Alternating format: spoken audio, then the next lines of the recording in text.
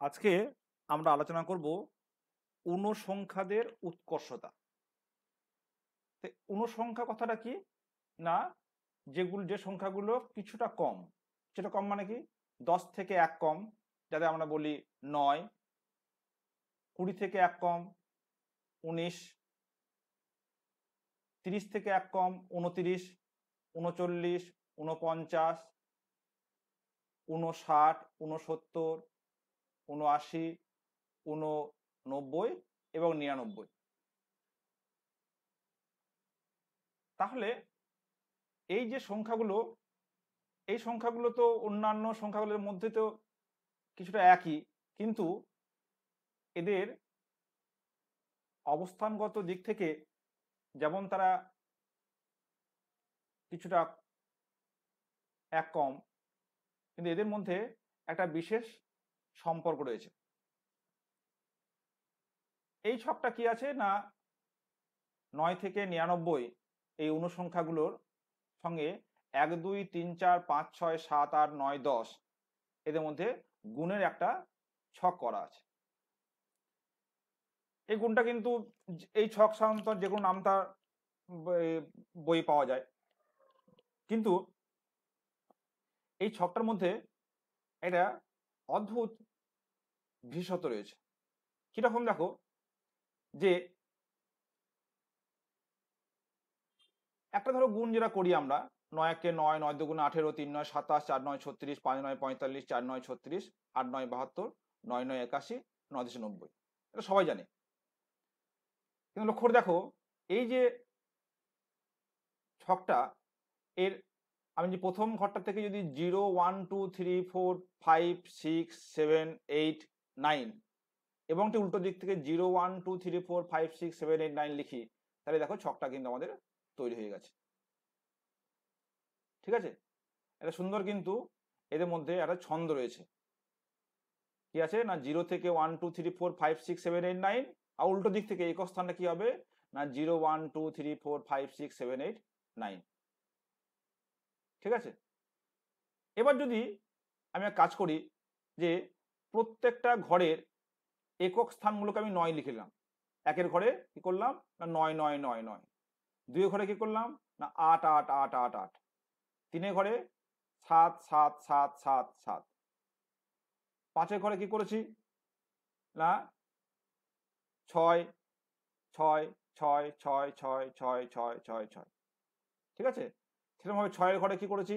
না চার চার চার এরকমভাবে আমি যদি প্রথমে লিখে রাখি, ঠিক এরকম একটা ছকের মতো আর কি। প্রথমে এরকম একটা ছক বানিয়ে নিলাম। এরকম বানিয়ে নেওয়ার পরে যদি আমি দেখো লক্ষ্য করে যে একের ঘরে কি হচ্ছে? না, zero one zero plus one one one plus one two three four five six seven eight nine তাই না? দুইয়ের ঘরে কি হবে দেখো? এক, একের সঙ্গে দুই যোগ করো, তিন, তিনের সঙ্গে দুই, পাঁচ, পাঁচের সঙ্গে দুই, সাত, সাতের সঙ্গে দুই, নয়, নয়ের সাথে দুই, এগারো, এগারোর সাথে দুই, তেরো, তেরোর সাথে দুই, পনেরো, পনেরোর সাথে দুই, সতেরো সতেরো সাথে উনিশ। ঠিক একইভাবে তিনের ঘরটা কি হবে? না, প্রথমে দুই তারপরে দুইয়ের সাথে তিন যোগ করো। মানে দেখো যে ঘরের গুণ আমি করছি, তত যোগ করতে হচ্ছে দশ দুইয়ের সঙ্গে তিন যোগ করো, পাঁচ। পাঁচের সঙ্গে তিন, আট। আটের সাথে তিন, এগারো। এগারোর সাথে তিন, চোদ্দ। সতেরো, কুড়ি, তেইশ, ছাব্বিশ, উনত্রিশ।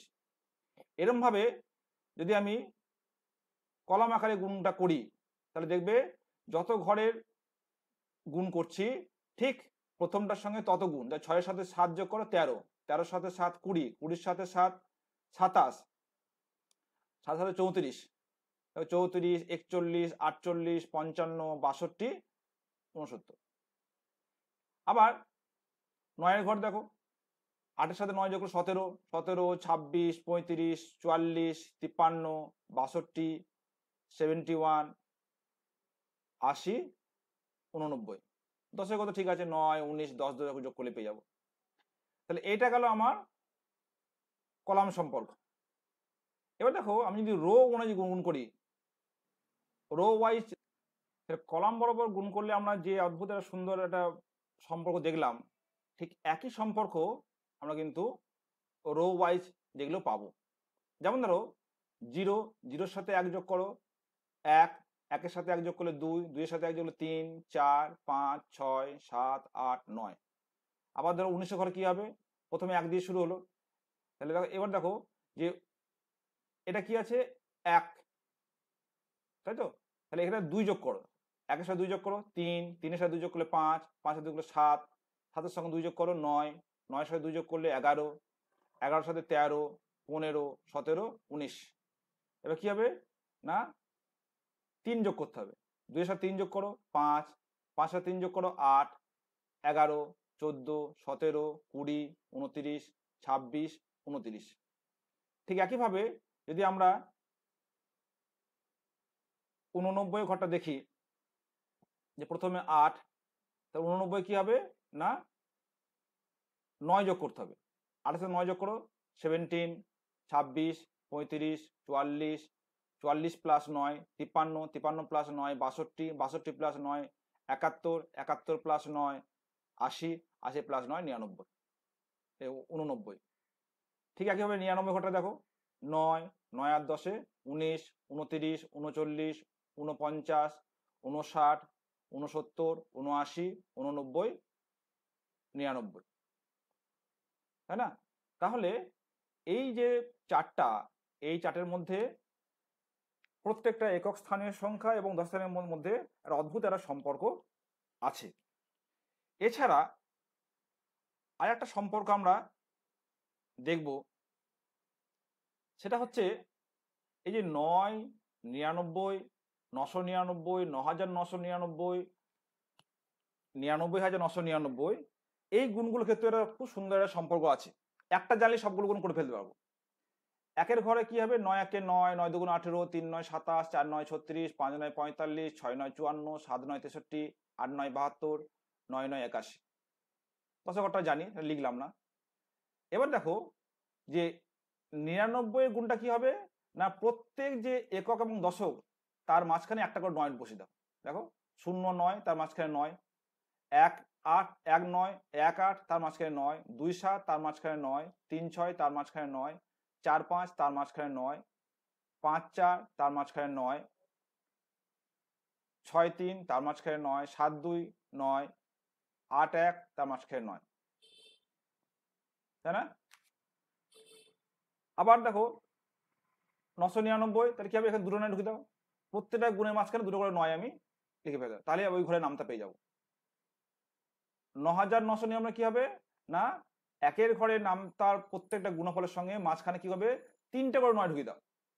তাহলে কিন্তু ন হাজার নশো নিরানব্বইটা আমরা পেয়ে যাব। আর নিরানব্বই হাজার নশো নিরানব্বই একই হবে? যে একের ঘরের এর সঙ্গে প্রত্যেকটা ক্ষেত্রে চারটে করে নয় ঢোকাতে হবে। তাহলে এখানে কি হবে? নব্বই, নয় নয়, শূন্য,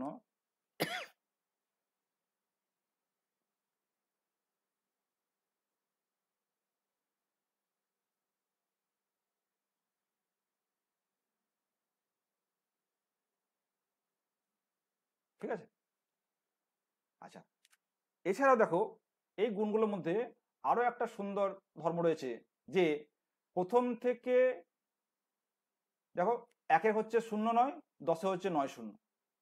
দুইয়ে হচ্ছে এক আট, নয়ে আট এক। ঠিক প্যালেন্ড্রম, উল্টো। তিনে হচ্ছে দুই সাত, আটে হচ্ছে সাত দুই। চারে হচ্ছে তিন ছয়, সাতে হচ্ছে ছয় তিন। পাঁচে হচ্ছে চার পাঁচ, ছয় হচ্ছে পাঁচ চার। শুধু এটা খেতে না, প্রত্যেকটা খেতে হবে, দেখো। শূন্য নয় নয় নয় নয় শূন্য। এক আট নয় আট নয় এক। দুই নয় সাত সাত নয় দুই। প্রত্যেকটা গুণের মধ্যে কিন্তু এই প্যালিনোড্রম বা মানে উল্টালে একই হবে, এই ব্যাপারটা কিন্তু দেখা যাচ্ছে। ঠিক আছে? তো অনুসংখ্যাতের মধ্যে কিন্তু এর সুন্দর সম্পর্ক আমরা এখানে দেখতে পাচ্ছি।